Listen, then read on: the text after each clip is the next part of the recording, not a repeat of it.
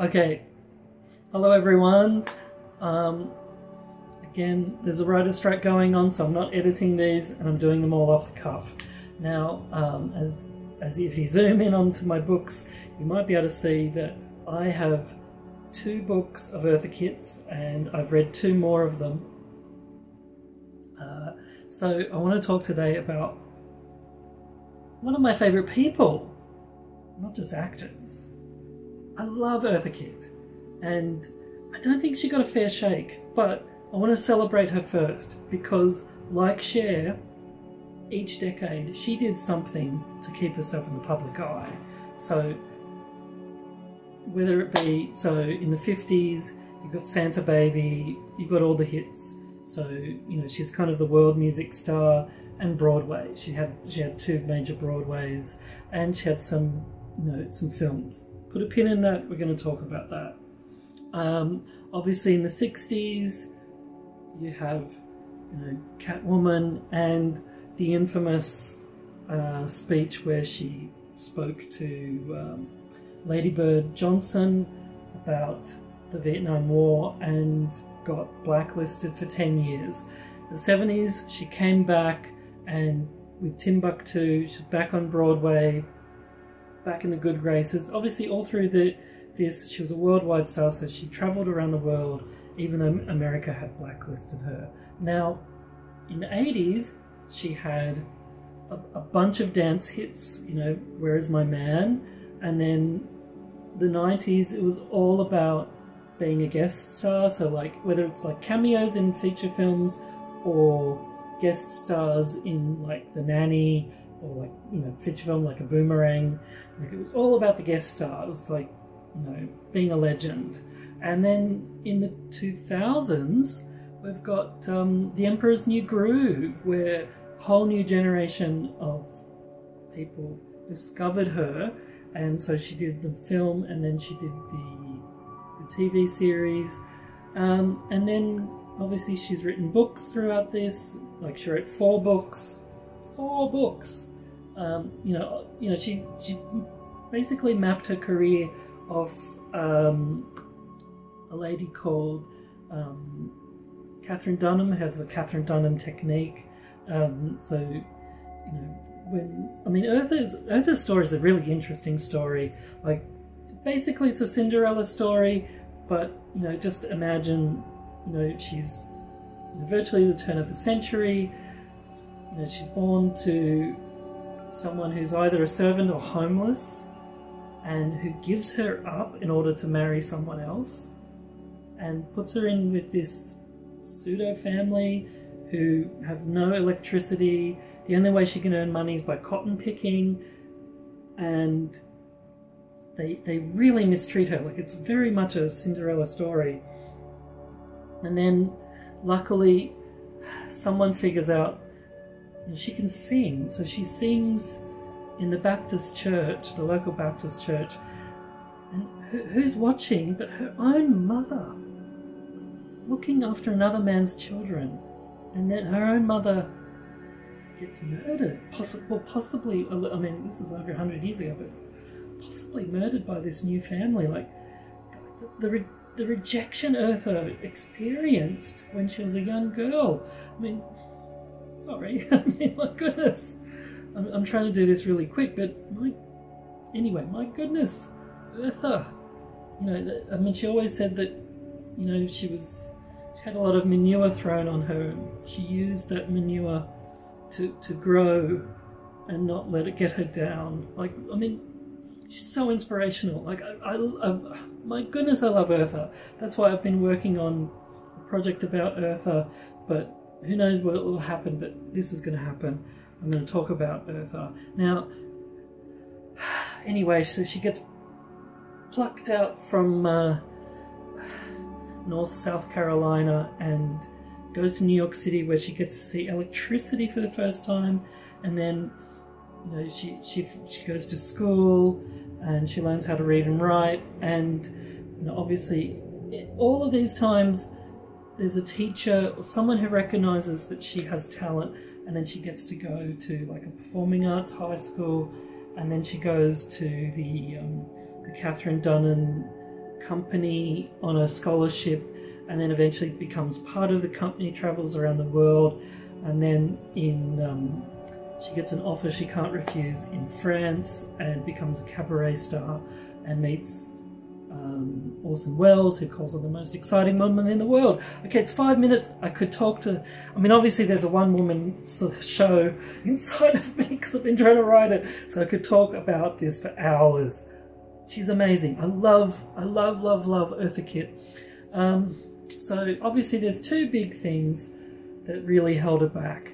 Um, I, I, don't want to talk about her childhood because, like, obviously, what you know, may, maybe if I don't know. Anyway, I don't want to focus on that. What I want to focus on are things where, so like the Hays Code, where you had things like where some of her films couldn't be released in the South.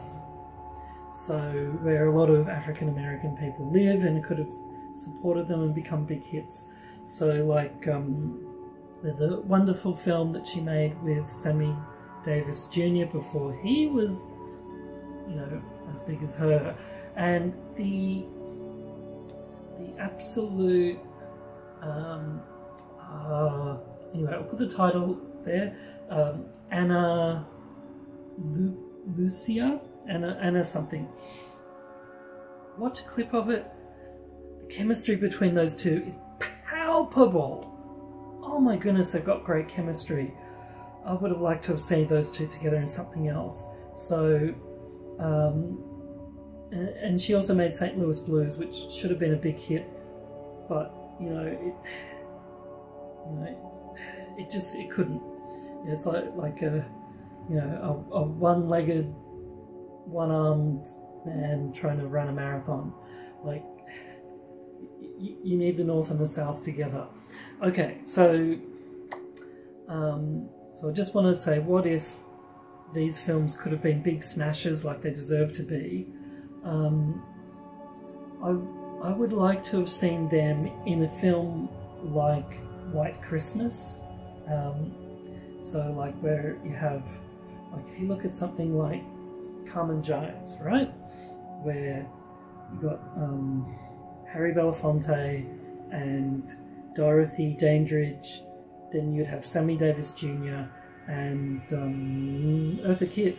Can you imagine all of that talent in one movie? A musical, dancing, with their own voices. Mm, I want to watch that movie. Why can't I live on that timeline? So, okay, now another thing, if those films in the 50s were hits, I think she would have done animation much, much sooner. She it just why did it take so long for her to do animation? I don't know. And the, the animation I would choose for her to do is 101 Dalmatians as Cruella de Vil. Cruella de Vil. So, okay.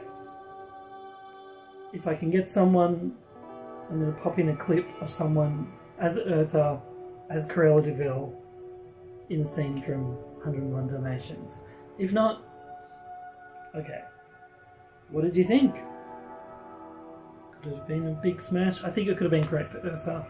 Alright, so fast forward and um, let's go to the blacklisting.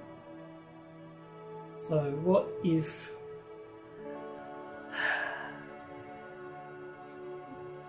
you know what what what if um, Lady Bird and Lyndon Johnson didn't didn't blacklist her. Um, the thing that I think she would have done in the 70s is basically like Cher Like, where are the variety shows? She was on, you know, she, she was often, like, she was a creature of television. Like, she often did other people's variety shows. She often had little clips in other people's. Like, where's her Christmas special? You know, I, I know Paul Lynde, you know, he was, he, he, I mean, he was also, he came up with Eartha Kitt, funnily enough, and he, he was often a bit too much. Um, Eartha may have been the same, but I mean, she often did one woman shows. as her cabaret act. So to me, the variety show would have been her natural natural place in the world in the 70s. I would have loved to have seen her. I mean, obviously it would have been great to have her on Star Trek, but anyway, um, I would have liked to have seen a Christmas show. I would have liked to have seen a variety show, you know, the Eartha Kitt show. And, um, you know, with, with that, I, I, think she would have done a lot more films in the 80s. So, you know, maybe, you know, she did, she did tour as the Wicked Witch of the West, you know, maybe a role in Return to Oz. Wouldn't that have been interesting? You know, like Disney's dark period, right? That could have been really an interesting period for her. Um, you know, like kids' films, like um, Never Ending Story. You know, start, I think she could have been fantastic in all those films, um, in all those, you know, films or TV shows. So, look, even though Eartha Kitt had a career that everyone, anyone would envy, I think she could have done more. So, what do you think? What if Eartha Kitt had had a fairer shake in life? What, what would you have liked Eartha to have done? Sound off in the comments below.